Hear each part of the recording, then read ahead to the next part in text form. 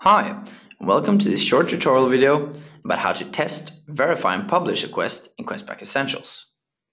To end up with a solid response rate and valid feedback data, your quest should be of good quality and not contain errors or inconsistencies. Questback Essentials support your work for high quality feedback initiatives with a wide range of elements built in and available directly in the service.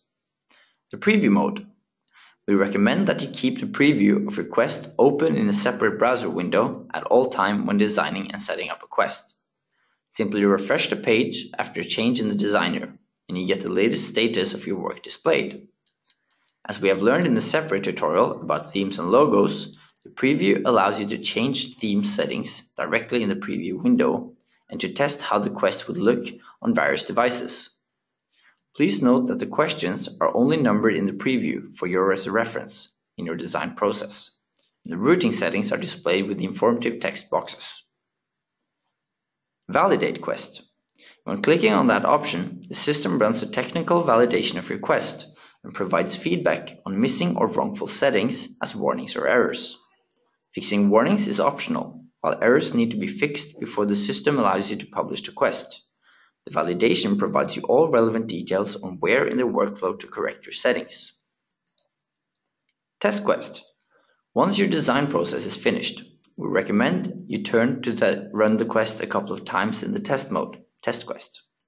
There, the quest looks exactly like it will look for the respondents, with the question not numbered and all routing settings applied.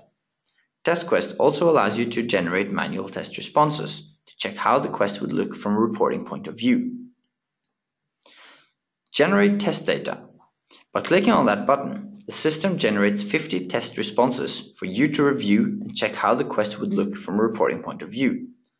Any settings that you apply to a report when working with test data will remain there once the quest is published and real responses come in.